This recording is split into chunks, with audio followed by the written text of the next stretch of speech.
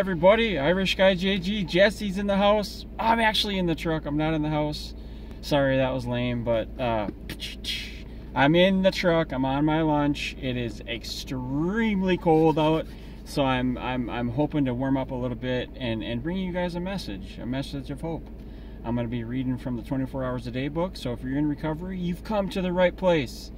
Me and so many other people on this channel are in recovery from alcohol, anything from alcohol to, to drugs to some people have um, porno addictions, some people have sexual addictions, some people have have addictions to food, and some people have addictions to everything. So in a way, we're all kind of in recovery. We're all kind of living for Christ, right? We're all trying to do the right thing and not sin. So in a way, we're all kind of in recovery from sin because we know what sin is and we know what it looks like and we know how it presents itself but we don't always know how to navigate that. And sometimes we end up sinning. So that's when we ask forgiveness ask for forgiveness and repent to our to our lord and savior jesus christ and ask for forgiveness because you know what? You don't need to let those sins linger on. You don't need to let them things linger on in your life and take so much out of your out of your walk and out of your spiritual sustenance that you get every day.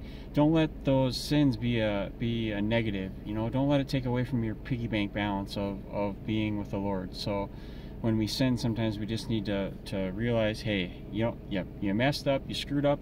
People who are in recovery, like myself and so many others, we go through the daily battle of trying to figure out how to live in recovery. And every day we get a little bit better, or sometimes we we go backwards. Now, I haven't gone backwards in a really long time. I've been successful in recovery, and I think I found the key. So that's why I made this channel and that's why I'm I'm maintaining this channel and I'm still trying to bring you guys the good word no matter how what happens in my life or the spiritual attacks that we that we that we go through or that we experience we just need to keep on going. So if you're able to you guys and you're in recovery or out of recovery but like I say we're all kind of in recovery because we're in recovery from sin so if if you want to start a channel, it's not that hard. Pick up your phone, turn it around, hit play, and, and speak your mind. Tell people what's on your mind. And if the Holy Spirit and Jesus Christ is in your life, you're going to have a good message to bring because other people want to hear what makes you successful in recovery and or in the body of Christ. What makes you successful? Praying, worshiping, praising, generosity, tithing. People get their needs met in all facets of, of the body of Christ. But those are some of the just of the ways. So sorry. That's just my opinion for today and I felt like sharing it. So, you know, recovery can be hard. Life can be hard. Living in this world can be hard. But that's we're not of the world anymore. We're of Christ. We're of the body of Christ. So look around. Find a good support system.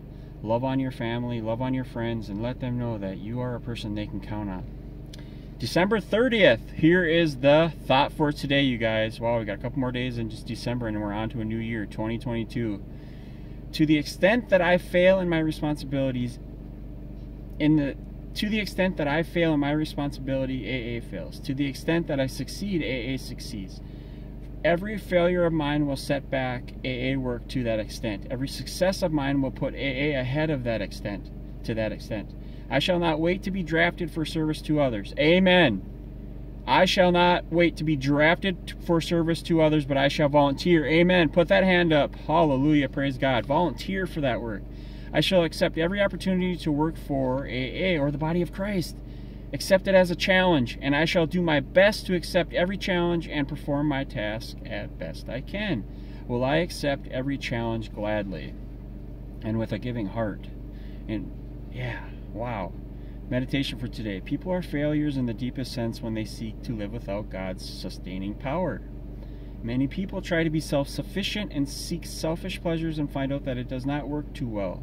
No matter how much material wealth they acquire, no matter how much fame and material power, the time of disillusionment and futility usually comes. Death is ahead, and they cannot take any material thing with them when they go. What matters if I what matters it if I have gained the whole world but lost my own soul? Heavy, heavy stuff. Amen. Praise God for that good word. Prayer for today. I pray that I may, I will not come to empty. Let's start that over. I pray that I will not come empty to the end of my life. I pray that I may so live that I will not be afraid to die. I pray that I will not come to empty to the end of my life. I pray that I may so live that I will not be afraid to die.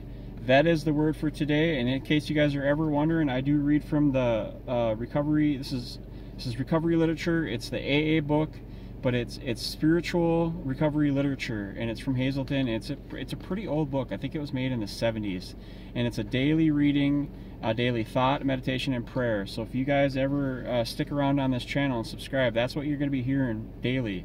It's not God's word per se, but it is spiritual sustenance that we get. And and and I switch around some of the words in here a little bit, but you guys, it's got a, uh, a spiritual aspect to it. Recovery does in general, and so I like to share that with you guys. So if you're new to the channel, please stay around, subscribe, check out what's in store, because I got to tell you, although the winter can be kind of boring, I get out in the summertime and I get out and I try to meet people and I'll, I'll, come to you if you're suffering or you're struggling or something and you need a brother to lean on.